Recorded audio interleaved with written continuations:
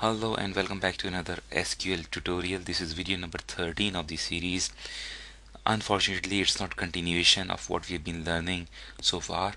Somebody asked me this question how to copy a table from one schema to another schema means from one user to another user in Oracle. Remember the word Oracle. Okay, so um, so whatever we're doing is related to Oracle now although this is a bit complex for the people who are learning SQL and this probably is not as such a SQL question but I don't dis disappoint don't want to disappoint the person who asked this question.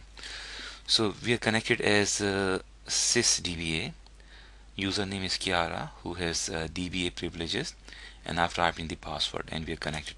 Let me show you a list of all users it's a name of a view that keeps the record of all users all underscore users.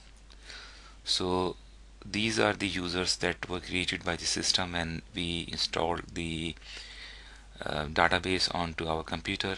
This is the user that uh, we created and we we've been using this user and we'll also learn how to create other users and we drop them. So what I'll do I'll create another user uh, first another schema. And the command is create user k2 for example identified by 1 k2 is the name of the user and 1 is the password for that user. Grant DBA privileges. Uh, this is not a good idea to grant DBA to everybody but we are learning and I know this nothing serious while we're learning. Nothing serious gonna happen to our database while we're learning. So grant succeed. Now if we connect Kiara okay, so we'll look at the tables that uh, we have created in this schema. Two tables and one sequence. The sequence was created in last video. And say for example we want to copy this ph table from this schema to another schema which we just created by the name of k2 okay so data is there and it's not formatted. So let me show you once again how to format. Format a 20 word and I'll say address okay. So we'll, I'm pressing up arrow key and the data is formatted now. So this is the data that we want to copy from user Kiara to user uh, K2 so the command is simple. Uh, let me connect just to be on safe side let me connect to the database as sysdba. Okay the command is copy from Kiara is the username and one is the password for Kiara. And you have to tell where the database is.